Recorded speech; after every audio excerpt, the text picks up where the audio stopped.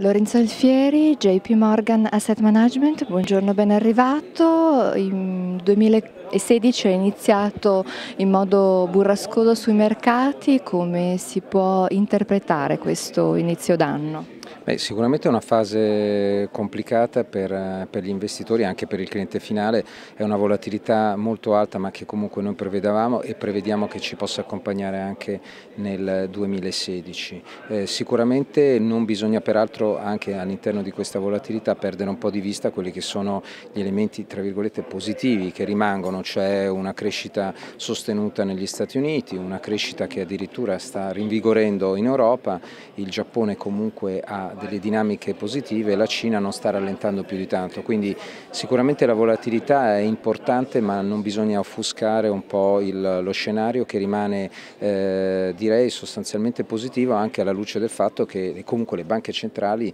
eh, stanno intervenendo, eh, la Fed ha rialzato i tassi ma in modo molto leggero, eh, in Europa, in Giappone e anche in Cina. Vediamo come le politiche monetarie siano eh, fortemente espansive. Direi aggiungerei anche ad esempio esempio che i consumi eh, in Europa, negli Stati Uniti e anche in Cina rimangono molto sostenuti con tassi di crescita eh, superiori al 10%. In uno scenario di questo genere quindi direi che eh, ci sono ancora delle opportunità sicuramente molto interessanti.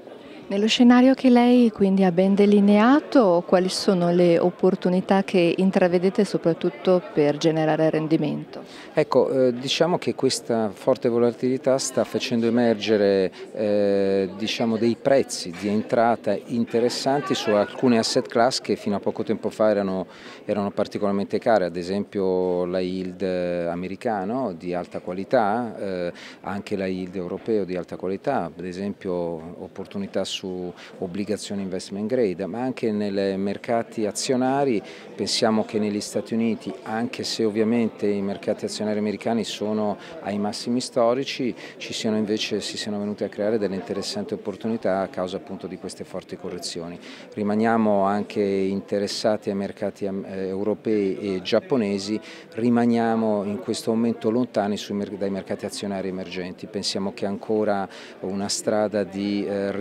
ristrutturazione eh, debba avvenire, pensiamo che gli utili dei paesi emergenti, delle aziende dei paesi emergenti possano ancora maggiormente scendere, quindi aspettiamo un attimo per entrare in questi mercati.